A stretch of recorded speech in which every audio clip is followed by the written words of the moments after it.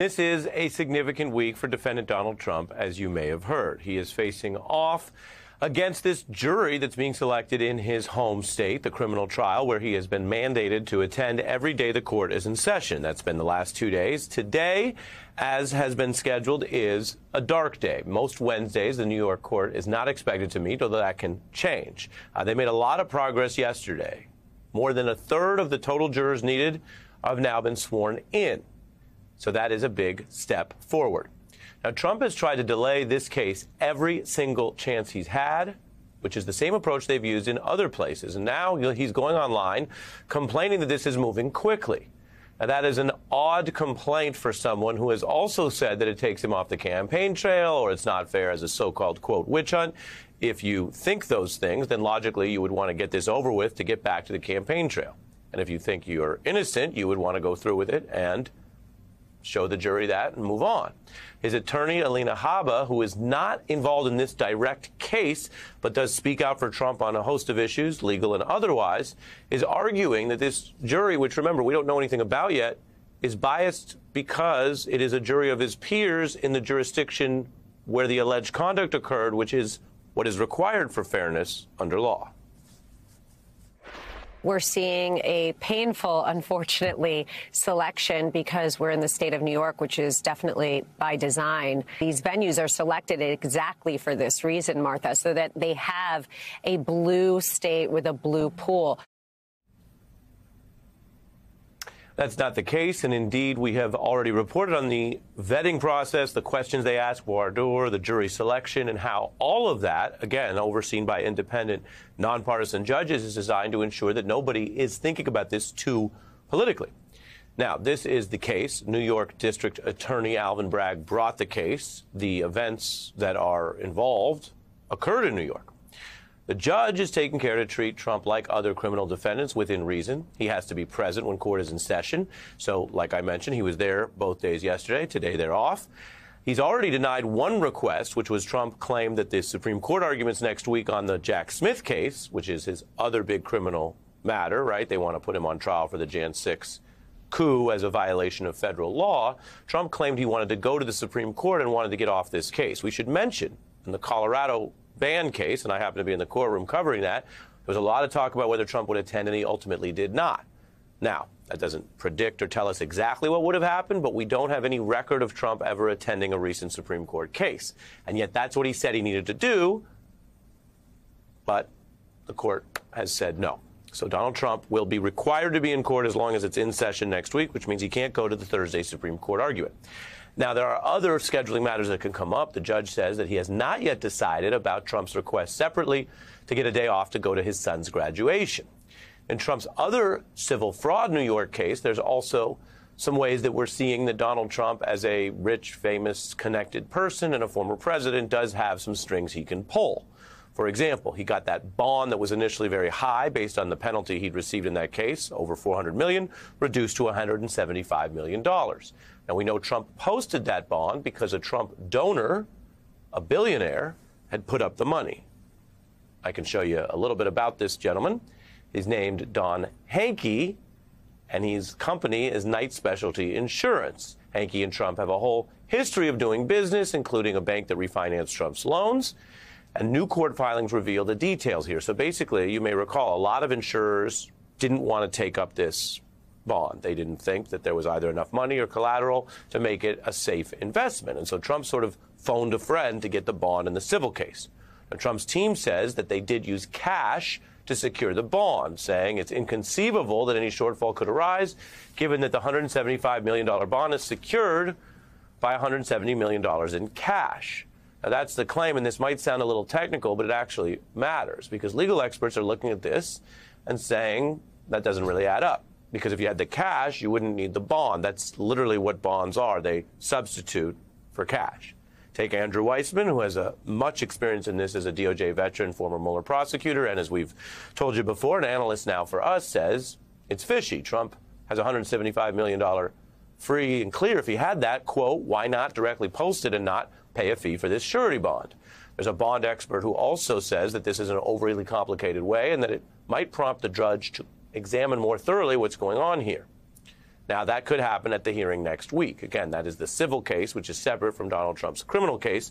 Both cases, though, are drawing and draining his time and his bank account. Now, there are those separate requirements, and Trump has to keep that money in the bond, however it's set up, in order to have the right to appeal this at all. So you take this together, and what you see is even on a day where one case is off for a day, they will resume picking jurors tomorrow in the main event here, the criminal case. Donald Trump has a lot of legal problems and headaches. When jury selection continues tomorrow, I suppose it will also continue to make Donald Trump upset because the defendant has said they're moving too fast to pick the jurors to actually hold the trial. The debt, I'm great with debt. Nobody knows debt better than me. I've made a fortune by using debt. I like debt for me. Donald Trump talking up his debt, and boy, he's used a lot of it lately. Margaret Carlson is with us from the Washington Monthly, and Lance Fletcher served in the Manhattan DA's office from 2004 to 2008, has extensive experience on all these issues. Welcome to both of you. Uh, Margaret, I want to start big picture. Um, this criminal trial is a big deal. It would, the only thing that would make it even larger for the the citizenry would be if it was a television trial, uh, like OJ or something, where you had cameras in the courtroom under the rules. They just don't do that in New York State. Uh, but I want to play a little bit of the, the, late night host talking about this, which is a sign uh, people know about it and are following it. Punchlines don't work if it's too obscure. Uh, take a look. One potential juror was an older woman who said she believes no one is above the law, and Trump's lawyers were like, get her out of here right now. The court sketch artist had time to draw him. Well, I think we found the new mascot for Celestial Seasonings Sleepy Crime Tea.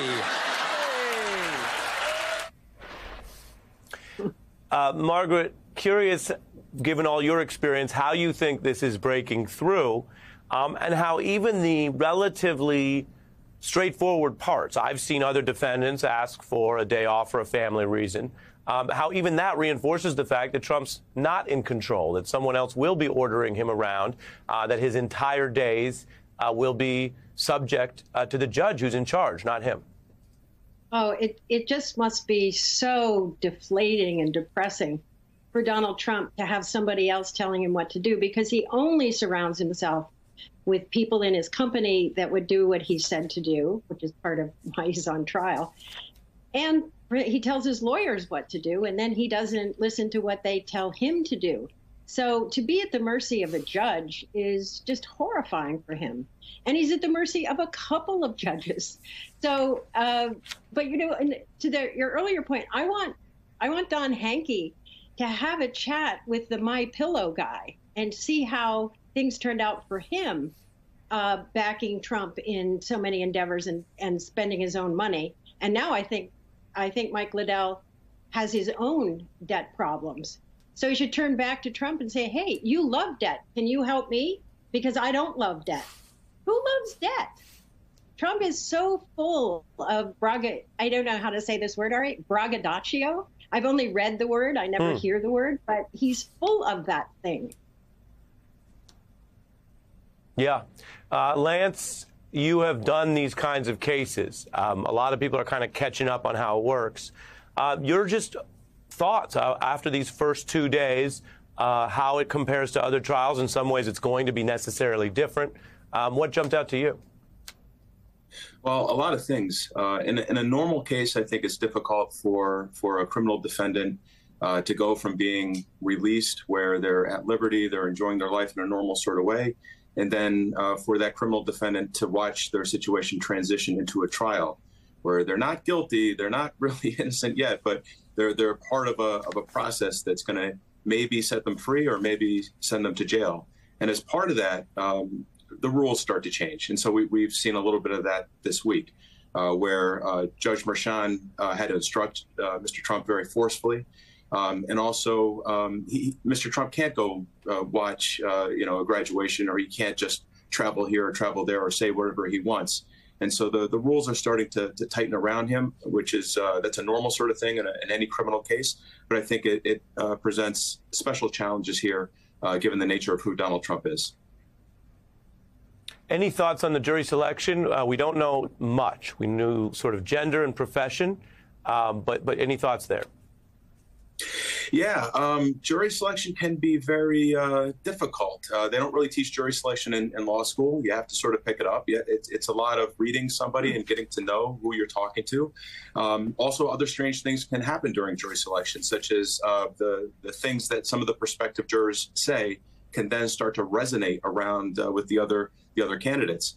Uh, so if you have if you have one juror who's who's uh, taking a strong position about a certain issue that you're talking about, um, that can start to influence how everyone else is thinking about that issue, and maybe in a way that you want, maybe in a way that you don't. Um, but I think it was very interesting uh, in, in uh, last week's developments that um, you, you, had a point being made, which is that you could be a Democrat, you can be a Republican, you could have feelings about Donald Trump, but when you come into the courthouse, uh, the question really becomes whether you can set those personal feelings aside and, and uh, decide the case based on the, the, the, facts and circumstances of the case. Hey, everyone. MSNBC has a new and improved app. You'll get real time alerts and analysis, live blogs, in depth essays, video highlights, and the best 2024 election coverage. Download the new MSNBC app. Here's how to do it you tap on the App Store on your phone. You hit search on the bottom right corner. You type in MSNBC. You click on the MSNBC app. You click on Get or the cloud icon and enjoy it.